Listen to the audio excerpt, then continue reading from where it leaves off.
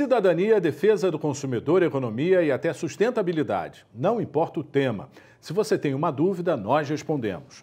O tema de hoje é o 13º salário. O nosso convidado é o Dr. Luiz Eduardo Peixoto, advogado trabalhista. Muito obrigado pela sua presença, doutor Luiz.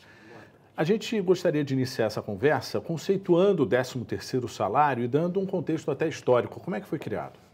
O 13º foi criado na, no início da década de 60 a ideia passa pela é, aumentar o, o rendimento do trabalhador na época de Natal, visando não apenas a melhoria da condição do trabalhador, mas também dar incentivo à economia, ou seja, fazer com que o que hoje é, já é comum para todos nós, que é a época de Natal, a economia gira mais, existem mais contratações, as lojas vendem mais, e o 13º faz parte, é parte integrante dessa movimentação econômica desde a década de 60 e hoje está inclusive incorporado na nossa Constituição.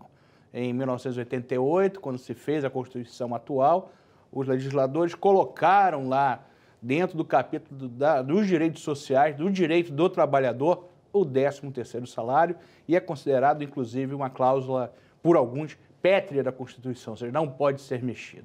Doutor Luiz, então vamos acompanhar a primeira pergunta? Como é feito o cálculo do 13º salário? Pois bem, Osana, o cálculo do 13º salário é feito com a base na remuneração do empregado. Isso quer dizer o quê? Vamos imaginar que você seja uma vendedora de loja e ganhe salário fixo e mais comissões. O 13 terceiro ele é pago com base no seu salário fixo, mais a média das suas comissões no ano. Ou seja, soma as comissões que você recebeu mês a mês, divide por 12 e você tem a média da remuneração que é utilizada para a base de cálculo do 13 terceiro salário. Vamos então para mais uma pergunta. Quem está em emprego temporário pode receber 13 terceiro salário? Daniel, pode não, deve. Tem o direito ao 13 terceiro salário ainda que proporcional, imagine um contrato temporário menor que um ano, mas recebe do mesmo jeito que qualquer outro trabalhador. Agora, o empregador que atrase ou que não pague o 13 terceiro, ele pode é, ser multado, né? Sim, existem multas previstas na legislação do trabalho pelo simples atraso e o empregado também pode cobrar esse atraso, essa diferença na justiça. Ou seja, as datas são quais? 20 de novembro? 20 de novembro você tem que pagar a primeira metade dessa. Até 20 de novembro pode-se pagar a primeira metade do 13 terceiro salário e até 20 de dezembro a segunda parcela do 13 terceiro salário. Ou tudo no final, né? Tudo em dezembro. Não, não. a primeira parcela é primeiro é obrigatoriamente, obrigatoriamente até 20 de novembro. O que acontece com algumas empresas, por ajuste ou com sindicato, é você, por exemplo, adiantar uma parte do 13 terceiro salário nas férias do empregado. Isso é muito comum para aumentar o valor para a pessoa levar para as férias. Mas é sempre em duas, normalmente em duas parcelas.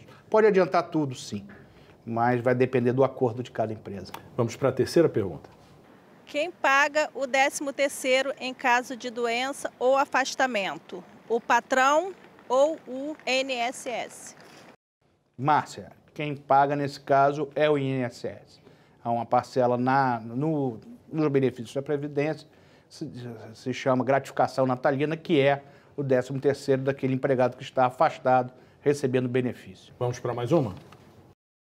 Porque o valor da segunda parcela do 13 terceiro é sempre menor que a primeira.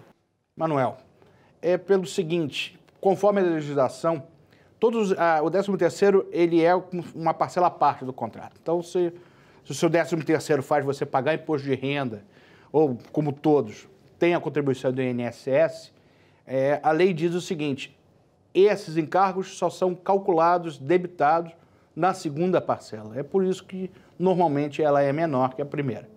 Vamos para mais uma. Em caso de rescisão do contrato do trabalhador, ele tem direito ao 13º salário?